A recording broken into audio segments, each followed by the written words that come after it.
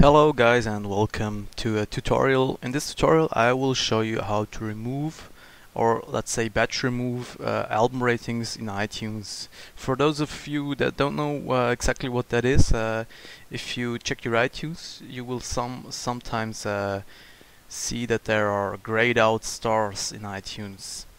So uh, many people get upset because uh, because of this because uh, uh, iTunes or the computer uh, calculates them automatically, so they are not user applied and they can mess up smart playlists, for instance.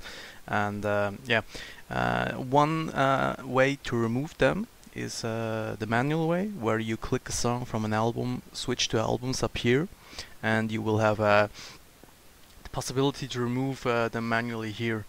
But if for instance, like me, you have 45,000 songs and uh, a lot of album ratings that you didn't apply. You want to remove them all at once without a hassle.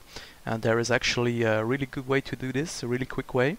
So first of all, what you got to do is uh, you open your uh, browser and you type in the following web page.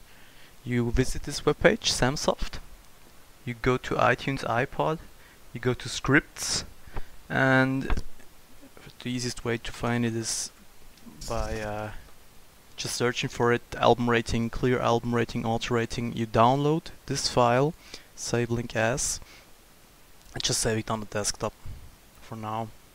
I've already done this so here you see this is the file that I've just shown you. I've downloaded it already.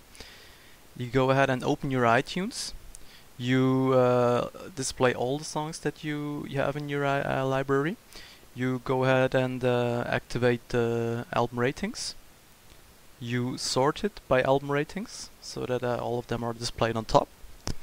And what you do next is uh, uh one way you can do it is to just uh, Control A and uh, select all your songs. But the, the thing is, if you select all songs, all 45,000 songs in this case will be processed, and this takes a long this will take a long time. So uh, the best way to, to save you uh, a lot of time is just select the the songs that you want to be processed, the ones with grayed out stars.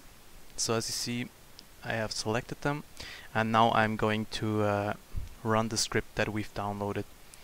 You have to uh, make iTunes smaller and double click the file. Open it, confirm this, and you will see uh, how many tracks have been uh, worked, how, how many tracks have been uh, uh, wiped off the album rating. And when we check back we see there are no more album ratings left. So uh, yeah that's about it. Uh, if you like the video please like and subscribe. And see you in the next one. Bye bye